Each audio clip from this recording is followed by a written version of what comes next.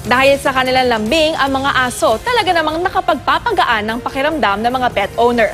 Kaya sa UP Diliman, sila ang bida bilang pantanggal stress ng mga estudyante, maging ng mga nagtatrabaho sa universidad. Silipin yan sa balitang hatid ni Katrina Son. Third-year college student si Jenny Catan sa UP Diliman. Di raw may kakaila, nakaliwat ka na ng mga stress na pinagdaraanan niya bilang estudyante, lalo na tuwing exam week.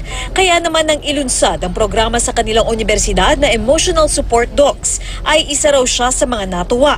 Bukod sa mahilig siyang mag-alaga ng mga aso at pusa, iba yung galak din ang hatid nito sa kanya.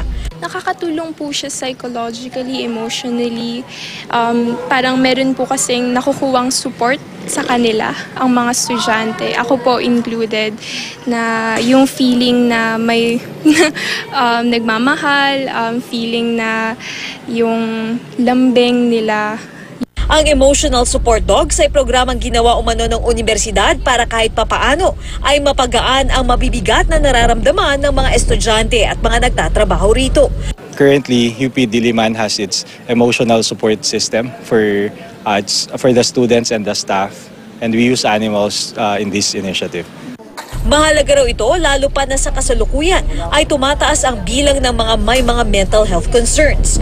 For one, we have had a surge in the number of our stakeholders who are going through mental health concerns. Uh, merong may manic depressive disorder, merong may anxiety disorder, merong may panic attacks, um, and all sorts of mental health concerns. Ang programang ito raw ay para sa lahat. Actually, nakakawala sila ng ano, stress sa ano ko, lalo na sa everyday ano ko. Nagsispend ako ng time para ano sila, feed, um, minsan pinapat ko sila, winowalk ko sila sa campus. So, nakakawala talaga. Nagdadagdag ng ano sa akin, joy sila.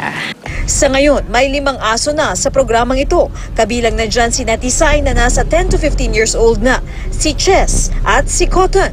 Sila ay may maroon collar na rin. Ang ibig sabihin umano ay kompleto sila sa bakunan, nakapon na at pwedeng lapitan. Inaasahan naman ng pamunuan ng universidad na mas darami pa ang mga aso na maaaring maging emotional support dogs. Kung talento lang din ang pag-uusapan, walang hangganan ang listahan ng mga tricks ni Bantay. Pero nakakita na ba kayo ng aso na kayang makipag-jamming sa videoke?